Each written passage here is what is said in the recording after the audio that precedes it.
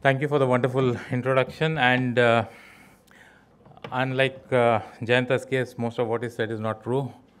And uh, to start with the word expert, okay, I would like to say a couple of words on that. Expert, uh, uh, Mr. Panwar, who was the director of project uh, Tiger and then went on to become director of project uh, the Wildlife Institute of India.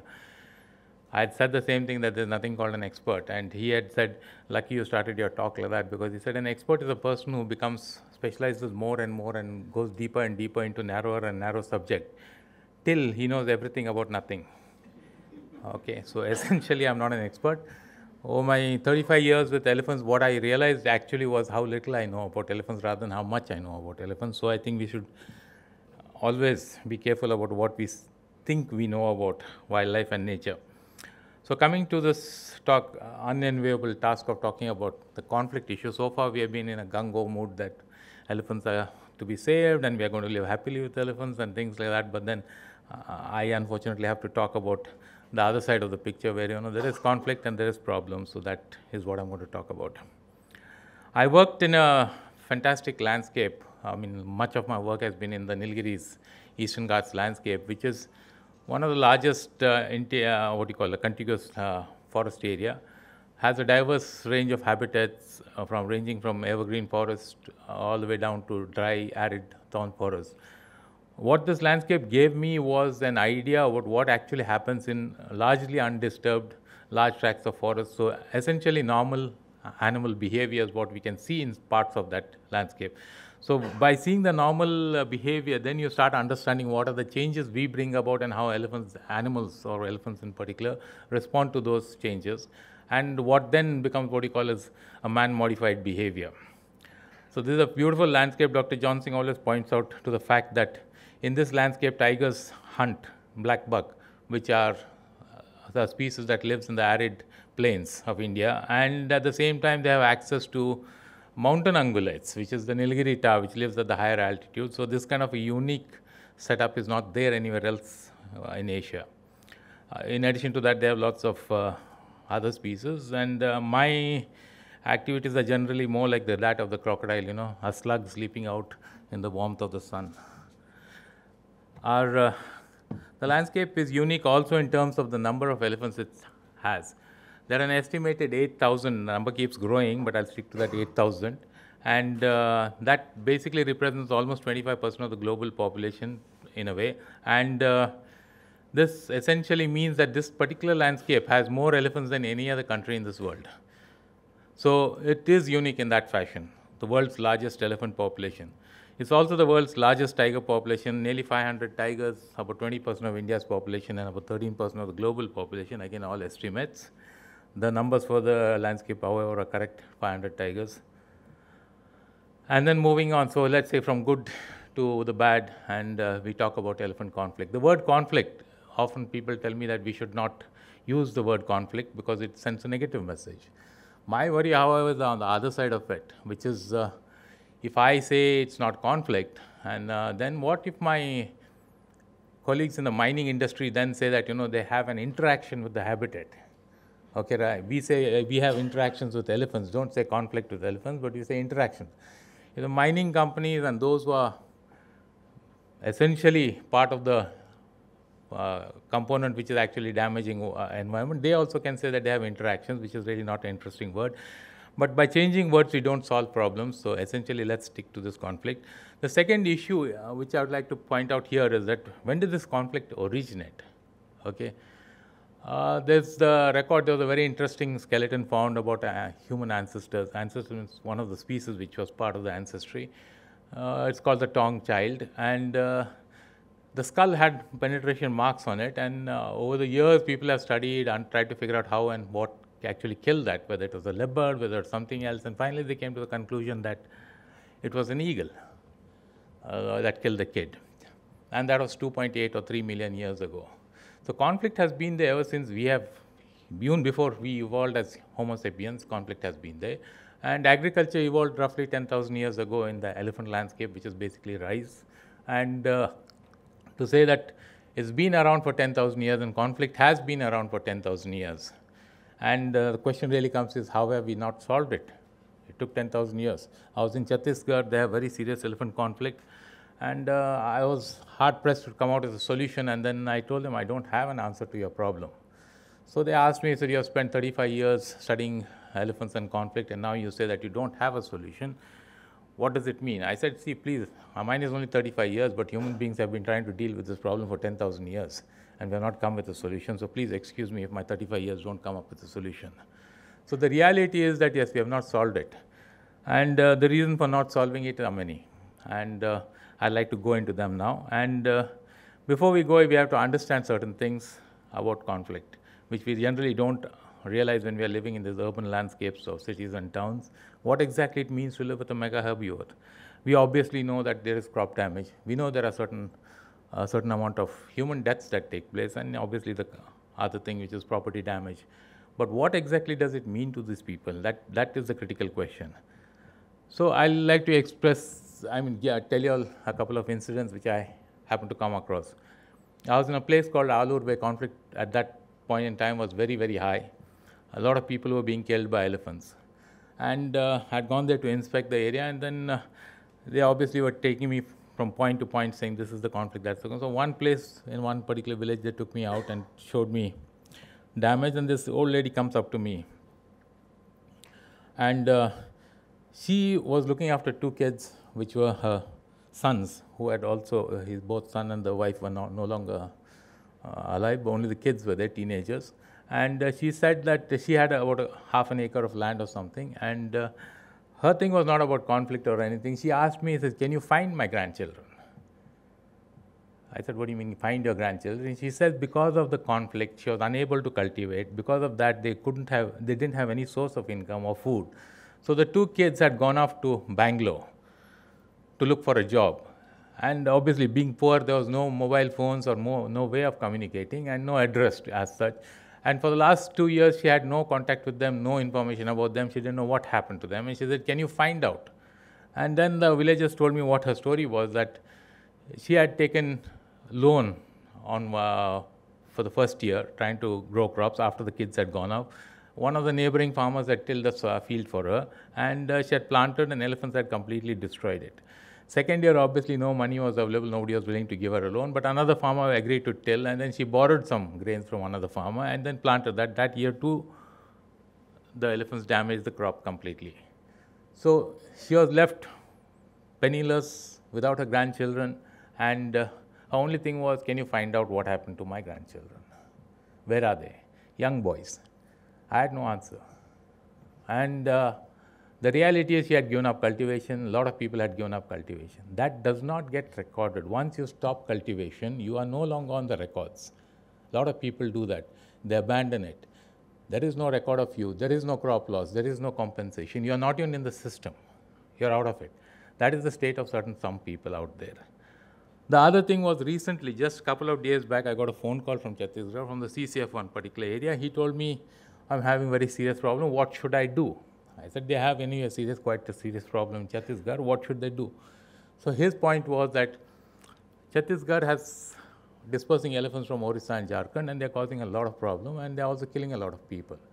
So he said that there's a particular female with a possibly a juvenile, a large juvenile or a subadult, uh, young subadult uh, male, which is going around. It has changed its movement path completely. It's going haphazardly, randomly all over the place and uh, it has killed five, six people. And the last particular incident he uh, mentioned to me was a case where they had the elephant had moved into a particular area. Chhattisgarh was taking very proactive steps, and uh, what they did was many of the isolated houses and all they collected all the people and brought them and put them into a, uh, I think a community hall or something like that.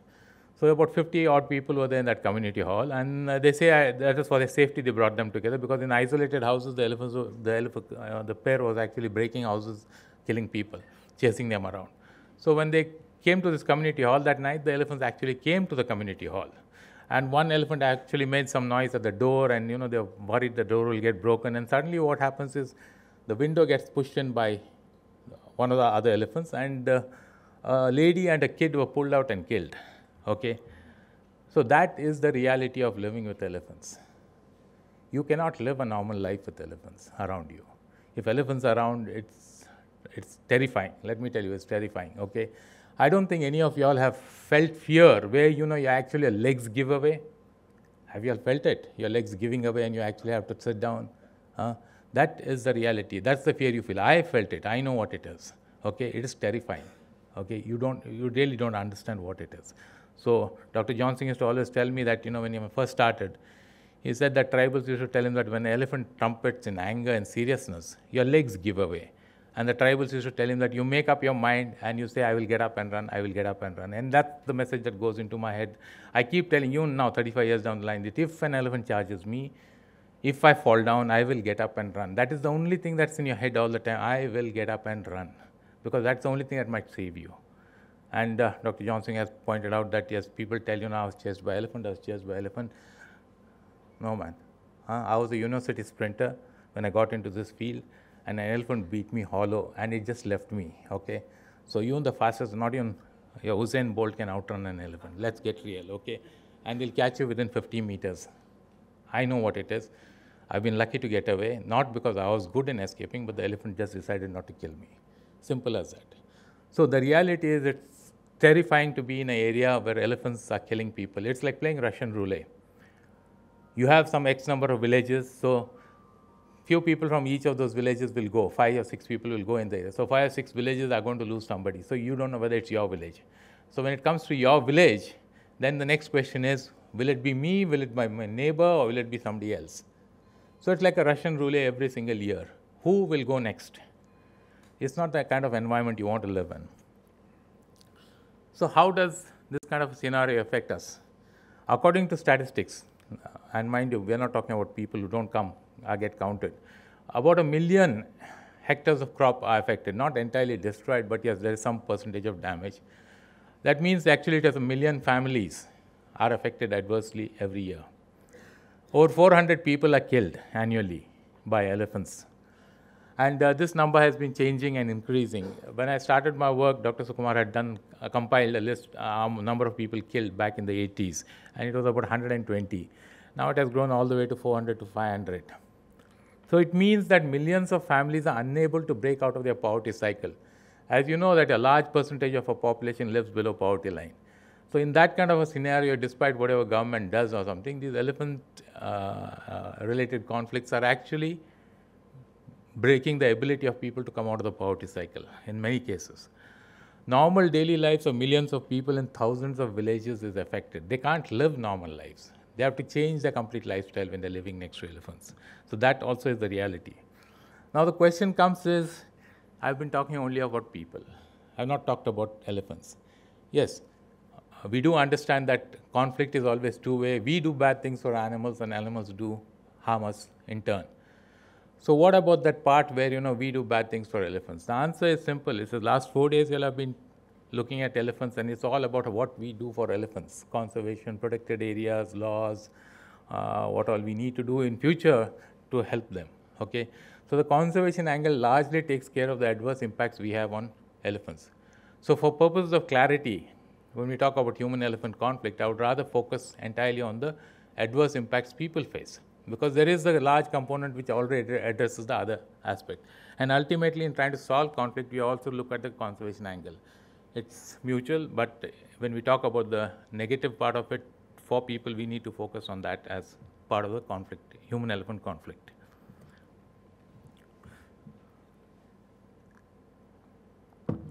So, why have we not been able to solve this problem?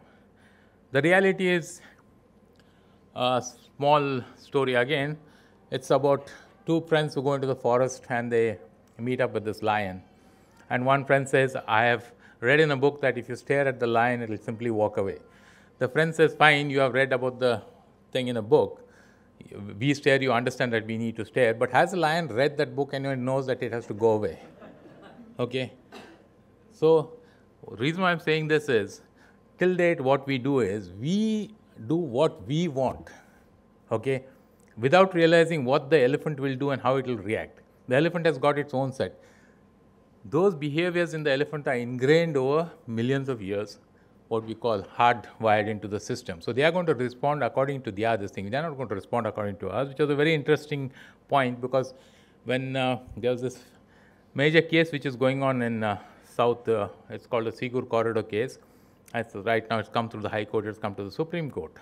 And uh, in that case, what happened initially, the Forest Department, I was party to that in trying to tell them what. So we identified narrow corridors, know, try to, because the least disturbance is a little realizing what we are doing. Uh, small passages, the complex, complex corridor network. So all narrow passages. So the judge, fortunately, who was more intelligent than us and more insightful, he asked us a simple question.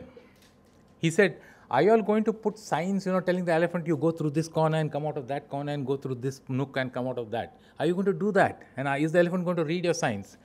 So he says, please go away from here and come up with a more reasonable uh, corridor plan which allows free movement of elephants, unhindered movement of elephants, and which is logical for an animal to follow. He says, don't come up with this road sign component for elephants. So we need to plan our management based on what the animal needs and how the animal is going to respond rather than how we are going to respond. So coming to this point about uh, conflict mitigation, first and foremost, we need to understand how the animal behaves, which is starting with its social organization. Uh, Dr. Vidya is here. She's done an extensive long-term study on social organizations. I will not get into that. Unfortunately, you, you all were not able to hear her, but it's very interesting and very complex. But very basically, males are solitary and females live in matriarchal societies, very rigid.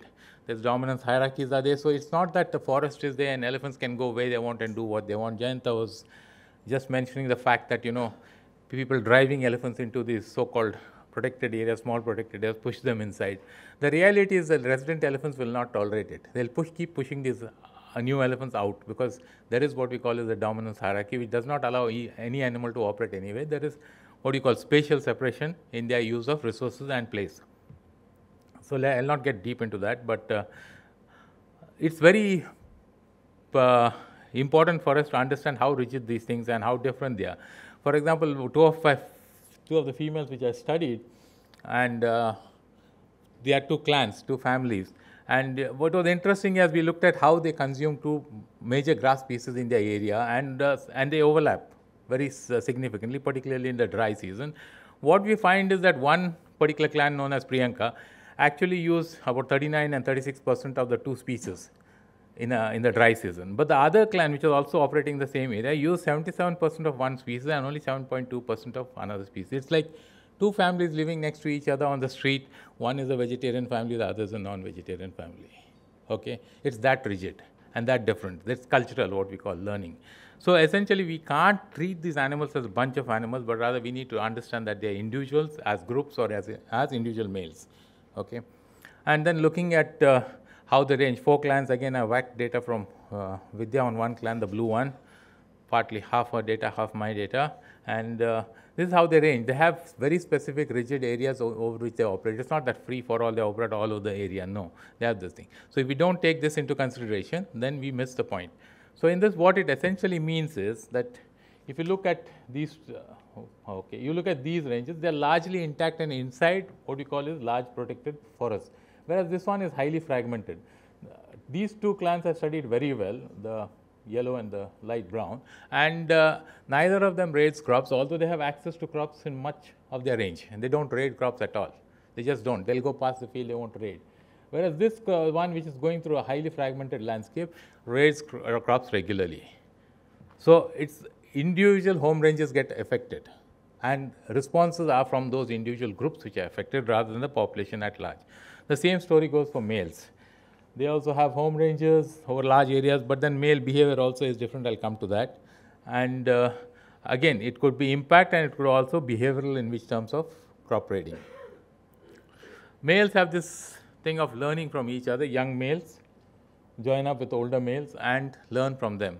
So if there's an older male which is raiding crops, then you have a younger male associating with that and then the younger male learns from it. So it's like basically a school for thugs.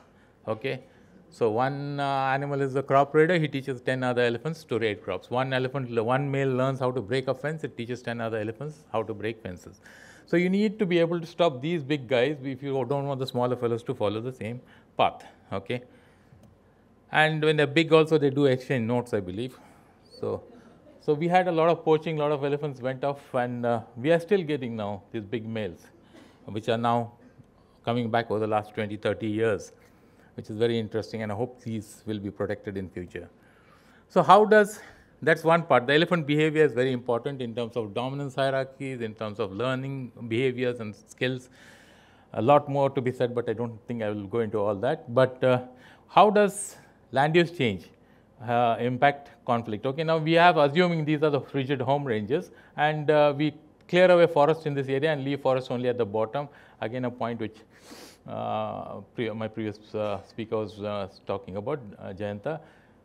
Animals which lose large part of their home range are basically left homeless. They are unable to come back into this area because of dominance hierarchies and as such they will be pushed to the periphery causing very high conflict or dispersing out and eventually the end result is always the same, they will die due to stress.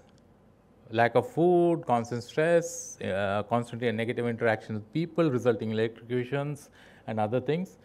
So, we really need to understand that elephants without their space are no longer what you call viable populations. Then what does linear infrastructure? Linear infrastructure would be something that is very narrow but cuts the movement of animals. Again here, what when you cut the movement, you're basically cutting off access to parts of the range. So linear infrastructure has a very adverse impact on uh, elephants and uh, the reality is that uh, it affects more families than does general habitat loss. So, it will bring more animals into conflict. Other things are like degradation, fire, weeds.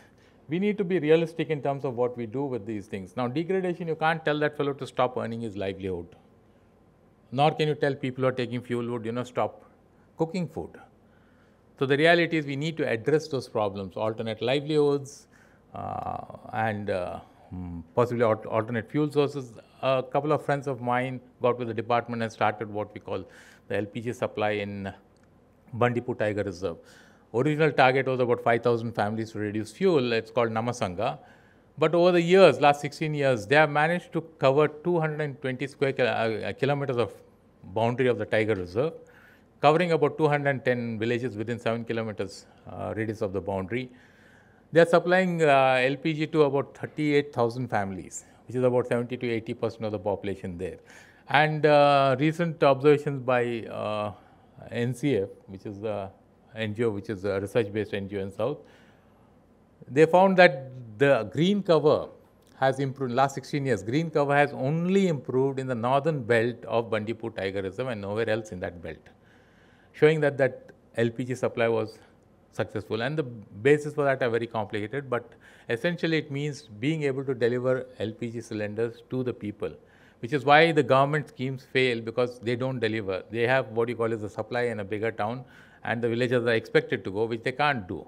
So, very simple changes needed to improve that. Then the other thing is the weed lantana which has come in a big way and is damaging our habitat uh, forests very badly is resulting in loss of habitat. Again, it's not something simple to solve, but then there needs to be concerted effort to try and solve this.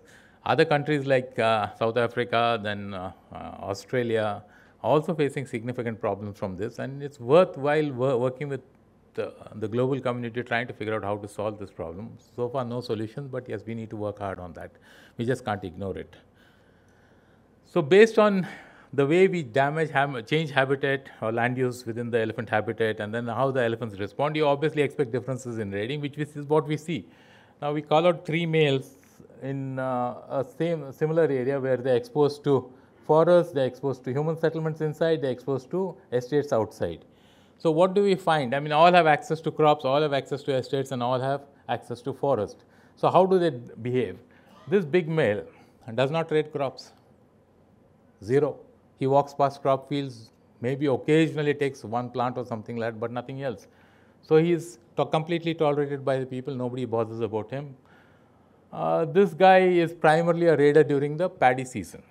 When paddy is there, he is rampantly raiding crop paddy across the area.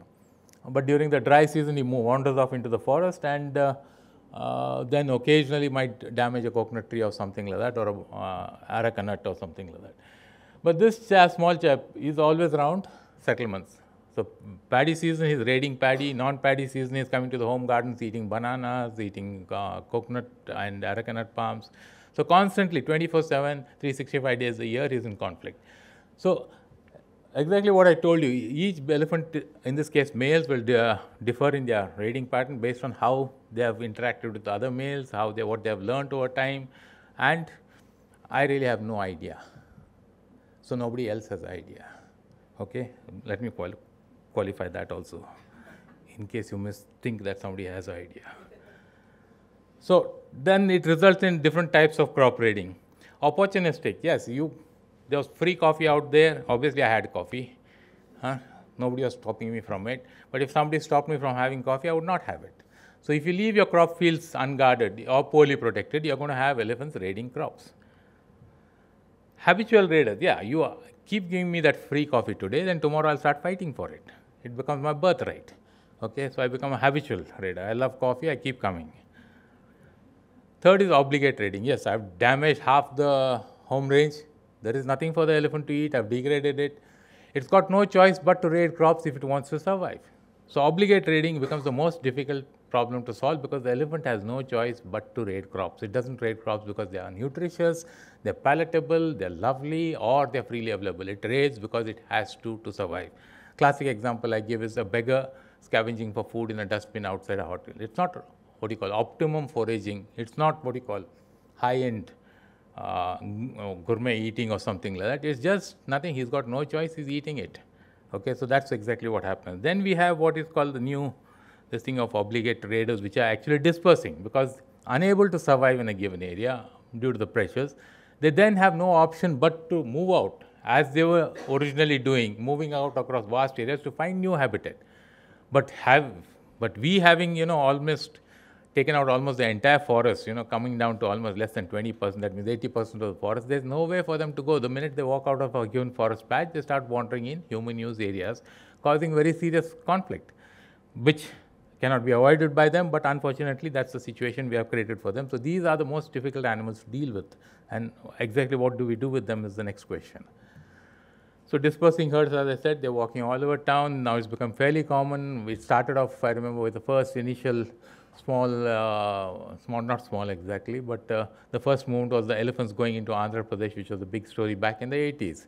Then came the Sarguja elephants story, and then, you know, now it's everywhere, all over the place. Like our, what do you call MBA colleges, we have, every street has three colleges. So every place where we have elephants, we have dispersing elephants. Conflict mitigation, again, we need to deal with reality, okay? The reality, what was it? It's not, it's not been a, what do you call a very comfortable scene in the past. Past there were large scale captures. I mean, we have history books, you know, which are I'm not history books actually, history which is recorded, no books. But uh, where they talk about, you know, Aurangzeb apparently had 40,000 elephants. Jayanta was telling, you know, thousands of elephants captured and exported uh, for war or whatever other purposes. What do you think this did to the populations and where do you think they went? Obviously, they caught around the settlements and villages wherever the elephants were known to be around. I mean, nobody would I mean, if my elephant was available 10 kilometers from here, I would not go 100 kilometers into the deep into the forest to capture an elephant. That would be silly because bringing it and training it and all those things would be an issue. So we were capturing elephants ra- rampantly across what we call as the human settlement areas. Consequently, conflict was very low. We were also taking what we call lethal action against them. Okay, let's not um, uh, believe that we are living in a very good uh, relationship. We were taking lethal action against elephants in the sense that we have been hunting ma- mammoths and everything. So it's not that we didn't know how to kill elephants without guns, but that's the scenario. Coming down to the 80s, 1800s, and the 1900s, early 1900s, you find large scale removal, and for a change, some documentation on this. Jayanta pointed out to some facts about you know huge numbers being killed in Sri Lanka. We don't really have that kind of detail, but there is in the district gazetteers in Coorg, there is a story about some in the early 1800s, uh, early or mid 1800s, where the Gazetteer says that the people of Kodagu could not uh, put up with the kind of conflict that was there. It was very severe. So they made, uh, they went to the king at that time, king of uh, and uh, made an appeal saying that the elephants are causing very severe damage. So the king made a camp of about 38 days, I believe, in that area, and he personally killed 180 elephants, and his people captured another 150 elephants. So 300 odd elephants taken out in a month. So that was the way the things went in those early years. Post independence, yes, there was excessive hunting, there was also captures, then uh, lethal crop removal up to the Wildlife Protection Act 72. So these suppressed numbers and uh, overall across the elephant range in India, and essentially that uh, minimized conflict. Now, if you look at captures, I think you know how does it do? Keep numbers down. You look at um, Myanmar, where you know there was like constant and steady capture of elephants for timber industry. We have huge number of elephants involved in timber industry. They have huge tracts of forest also. But when people started actually doing surveys there, including uh, Verma who had gone there, uh, they thought were areas, those forests would be full of elephants. No, they, what they found was very few elephants. We used to think Myanmar had 10,000 elephants, but what they now estimate is around 2,000 elephants only in the entire large tracts of forest. The reality is that yes, we did keep the numbers down. Post Wildlife Protection Act in India, we have populations which have been growing steadily under protection, as can be expected. And the only problem was we faced was to that of male populations which were being poached for ivory. But given that it's a polygamous animal and that elephants breed once in four to five years, so you have only about 20 or percent of the population breeding in any given year. A single male mates with about five elephants, which means that uh, even a sex ratio of 1 is to 25 will have effective and successful breeding happening in the population. So it does not deplete populations as such, even at high poaching rates. So that's how the populations grow. So coming down on what conflict mitigation. One of the things we need to understand before I mitigate is what is it that I'm trying to mitigate? The reality is we are stuck with just two things, which is loss of life and injury and direct crop loss.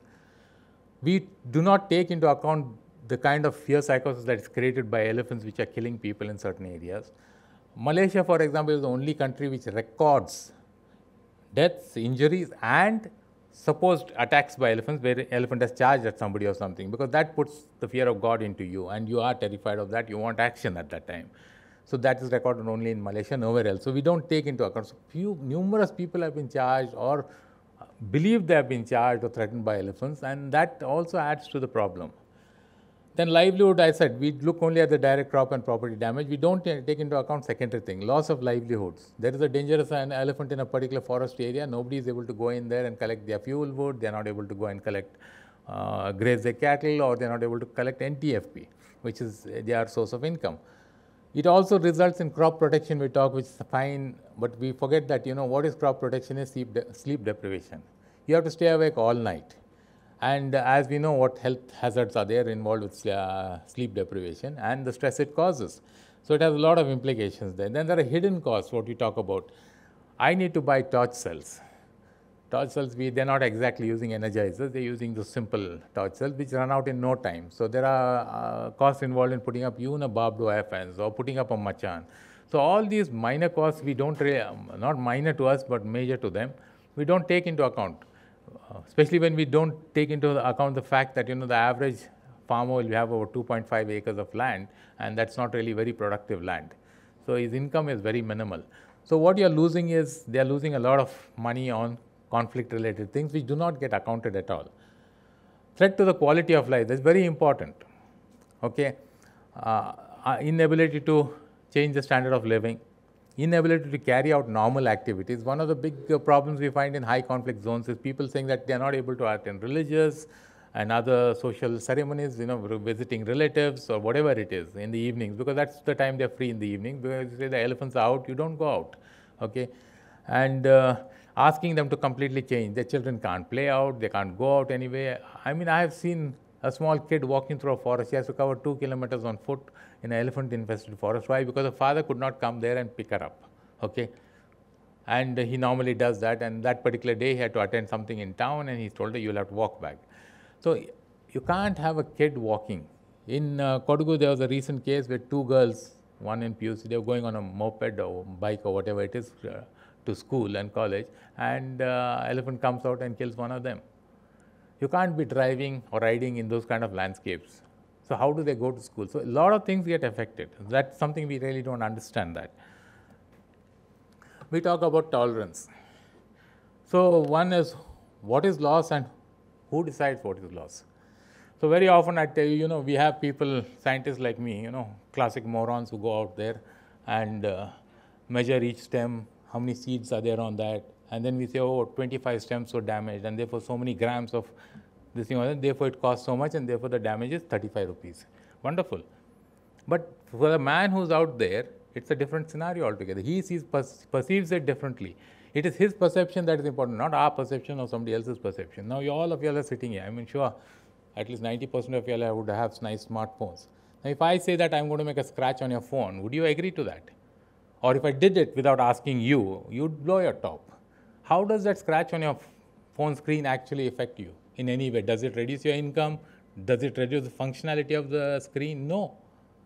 We would blow our top, we would probably put a file a case against each other and all sorts of things. For a scratch on a screen, come on, get real. That guy's livelihood is being damaged there and he's you asking him to sit quiet and you're saying he has got no damage. So this is the level of perception difference that is there between the person who's impacted and we on the outside who look at it. So let's not talk about that, okay? Change in attitudes, I believe. We were once a subservient society. Come on, let's be real about it. We came through Maharajas, that, this, and the British era. The villagers never thought of asserting the other thing. Today, they are rightfully asserting their right to life and livelihood. Rightfully asserting their right to life and livelihood. Please do not call it intolerance. They have a right. Every citizen of this country has a right. So let's not call it intolerance. It is our ignorance that makes us think about it as tolerance and intolerance. If you look at human deaths, another nice, beautiful thing I hear from my colleagues is, oh, come on, there are so many road deaths and all that, and blah, blah, blah, and you know what people are talking about 500 deaths by elephants. I did a calculation per thousand vehicles and per thousand elephants, how many deaths take place?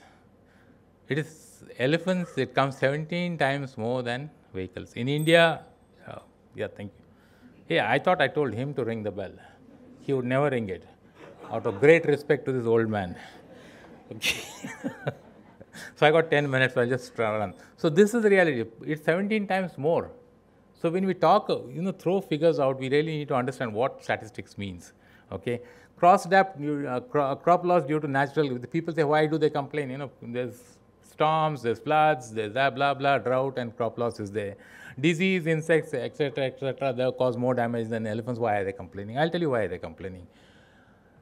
Natural calamities are uncontrollable by people and by the governments.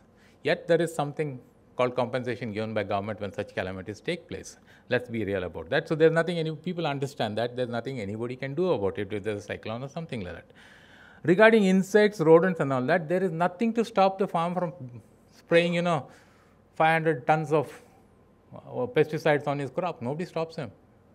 Or putting uh, poison for the rodents. Nobody's going to stop him. So he is empowered to deal with his problem. Whereas with elephant, no, it's a schedule one species. You can't touch it, you can't look at it, you can't even breathe the scent of an elephant. It's illegal. Okay? So there is a difference. He is allowed to deal with one particular problem, he is not allowed to deal with the other problem. Now the other problem happens unfortunately not a caterpillar which crawls up his plant, which he can squeeze, but it happens to be a big elephant which can squeeze him in turn. So he can't deal with that problem. So really we need to understand that the problem is way beyond his capacity. He is neither empowered to deal with it nor does he have the capacity to deal with it. So conflict mitigation essentially has to be done in four independent steps. I mean, all go together. First and foremost, we need to address the causal factors. The very fact that conflict comes into the picture, that is habitat loss, degradation, fragmentation.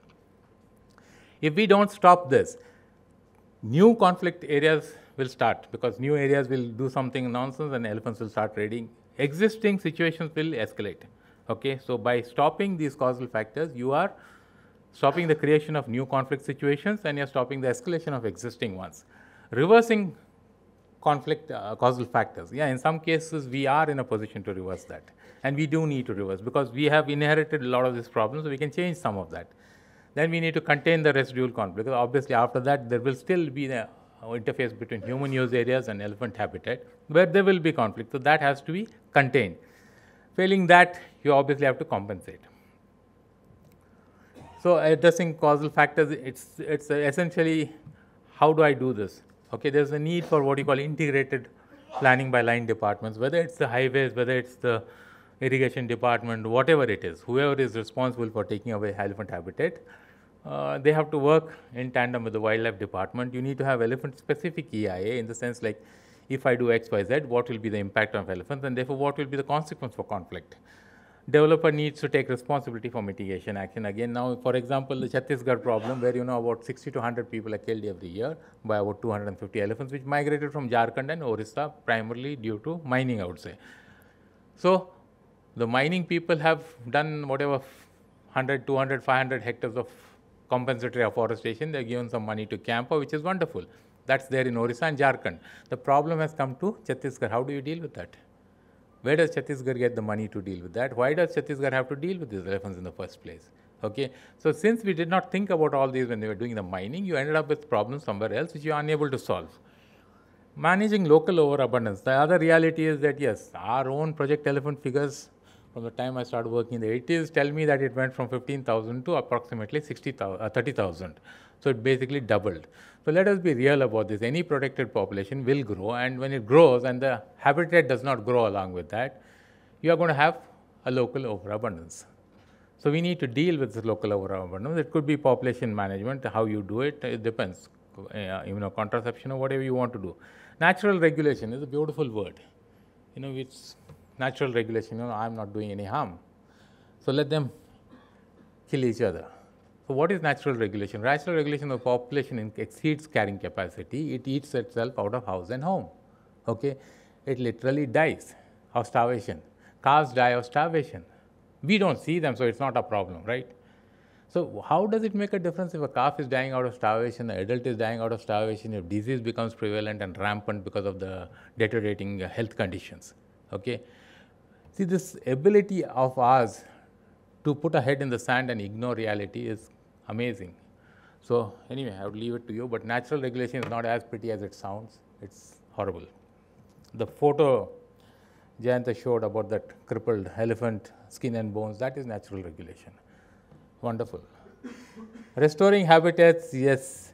There's a one big component is habitat degradation because of our dependence of our rural communities on forests and that has to be done through what we call bringing up those rural communities economically so that they're no longer dependent. So that requires a lot of line departments, whether it's the rural, uh, rural development, tribal development, animal husbandry, agriculture, blah, blah, blah. All those have to come in tandem to work on trying to solve that problem. We can restore corridors. We can, uh, to an extent, very small extent, restore uh, uh habitat which is lost. Immunocontraception for managing populations, captures, bringing into, the word culling is there, but uh, I know all of you will jump up and down, but uh, not my problem, but that is the reality. Containing is obviously barriers. Again, uh, physical barriers, different types of barriers. Then we have guarding. But again, if elephants lose their fear of uh, people, you can't guard because then they are going to be chasing you. In terms of barriers, we have to be very careful because we need to understand the elephants are intelligent. They can even break the worst of uh, the you know spikes, blah, whatever you have that can be broken. They use any gaps like roads, other things to move, move out. They overcome electric fences very easily. Then the quality of construction also is a big issue. So rail barriers very expensive, but then work. So in the longer term, maybe this is the solution in some cases because in barriers we must understand anything. Whether I am guarding a crop or whether I'm putting a rail barrier or whether I'm putting a concrete wall or the Great Wall of China, I'm doing the same thing. I'm keeping an elephant in the forest, stopping it from coming out into agriculture. So irrespective of what we talk about barriers, we must realize it's the same thing as guarding my crops. In the sense, I'm not allowing an animal from the forest to come into the agricultural area. Then we have drives, community awareness. Okay, I'll run through that. Jesus Christ, I should never have given her the bell. okay, so drives and these are all temporary measures. They don't solve the problem. They just allow it to persist and expand getting to social media, engaging people, very critical because these people are isolated, left out, they feel neglected and um, they feel nobody cares. So you have to engage them and that has also some benefits. Compensation again, I, let me not get into that. There has to be increased rates and uh, the only thing I'll say about compensation is the point about whose elephant it is. Essentially, Wildlife Act says that an animal killed is the government property. And according to the Maharashtra High Court, there's nothing called partial ownership. You can't be owner of something when it's dead and not its owner when it's alive. So the government, by its law, own law, says that uh, elephant is government property. Consequently, they are responsible for managing it. In terms of conflict mitigation, the government can act alone, do the mitigation entirely on its own. Two, it can collaborate with people and work with them to solve it. Or three, it can empower the people to do deal with it. So either of these three avenues is open, so nothing stops them from doing any of these three. And uh, more recently, there was a High Court report from uh, Karnataka, which then spelled out the reality of elephant conservation and conflict. It said that there are areas where we can conserve elephants exclusively, no human involvement in those areas, what you call elephants only areas. Then we have coexistence areas, forests where elephants exist, but where people also have certain rights. Uh, most of the forests would come under that category. Those are the areas coexist. And then there are areas where elephants cannot be conserved. In a sense, it's not a viable habitat. A classic example is this is the land use of uh, Alur area. As you see, there is estate, there is agriculture, and there is villages, and there's a water body, obviously. Hardly any forest, not yet, doesn't even register on the map. Okay, no forest. In that, we have large number of elephants wandering all over. This is the ranging of one elephant, and it essentially causes a lot of conflict. Okay, so this is not a viable area. So leaving elephant to what you call God's elephant conflict uh, resolution to God's hands is not really a solution. So we need to work beyond that. Future needs again a lot of things to be done. If we don't do that, then desperation will make people electrocute and kill elephants. An this is the elephant which I said doesn't cause conflict, comes close to the um, people feed it. But this is an ideal situation. Exception proves the rule, as they say. So this is not reality. So, but this is what we hope for at the end of the day that we have a proper system where elephants and people live. Yeah, thank you. So, any questions, please? I don't think we have time. Thank you very much.